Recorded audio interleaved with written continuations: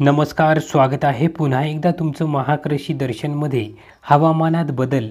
आज रात्री महाराष्ट्रातील इतक्या जिल्ह्यांमध्ये पाऊस.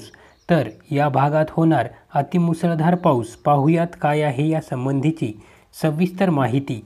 भारतीय हवामान खात्याकडून येत असलेल्या माहितीनुसार आजपासून हवामानामध्ये बदल व्हायला सुरुवात होणार आहे.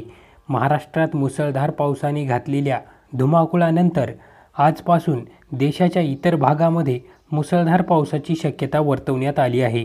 झारखंड बिहार हिमाचल प्रदेश हरियाणा उत्तर प्रदेश या भागामध्ये आज उद्या या दोन दिवसामध्ये मुसळधार पावसाची शक्यता असून पंजाब आणि उत्तर प्रदेशमध्ये उद्या आणि परवाही मुसळधार पावसाची शक्यता वर्तवण्यात आली आहे.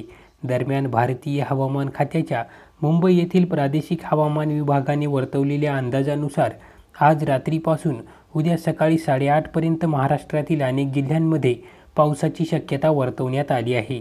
यामध्ये कोकणातील रायगड रत्नागिरी आणि सिंधुदुर्ग या तीन जिल्ह्यांमध्ये मध्यम पावसाची शक्यता हवामान खात्याने वर्तवली असून पालघर ठाणे आणि मुंबई जिल्ह्याला कोणताही इशारा देण्यात आलेला नाही.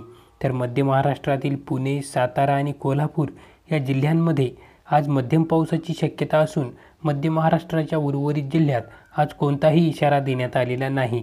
तर मराठवाड्यातील औरंगाबाद जालना परभणी हिंगोली नांदेड लातूर बीड उस्मानाबाद या सर्व जिल्ह्यांमध्ये हवामान कोरडे राहण्याची शक्यता असून उत्तर महाराष्ट्रातही सर्व जिल्ह्यात हवामान कोरडे राहण्याची शक्यता आहे.